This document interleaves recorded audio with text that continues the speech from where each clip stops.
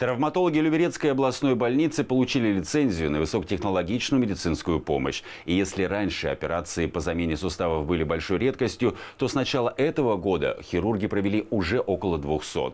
Как врачи возвращают пациентам радость движения, покажем в следующем сюжете.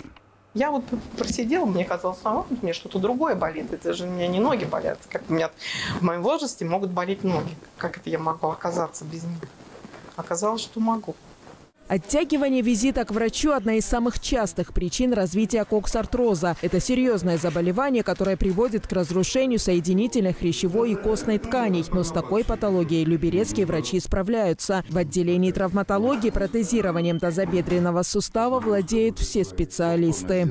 В тазобедренном суставе мы делаем как при патологии самого тазобедренного сустава, так и при переломах э, шейки бедра и ну, вообще проксимального отдела бедра.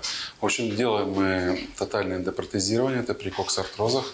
Лицензию мы не так недавно получили, в августе месяце, и поэтому стараемся как бы этот э, процесс внедрять широко в нашей больнице. Мне сделали операцию на правой ноге, заменили тазобедренный сустав поставили протез, и сейчас будет вторая операция на левой ноге. Врачи вообще шикарно все делают. Вообще молодцы просто.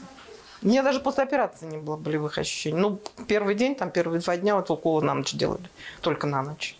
Во время операции врачи заменяют пораженный сустав специальным протезом, который служит десятки лет. После хирургического вмешательства пациенту необходим восстановительный период. Для этого на базе Люберецкой областной больницы работает отделение реабилитации. Луиза Игиазарян, телеканал ЛРТ.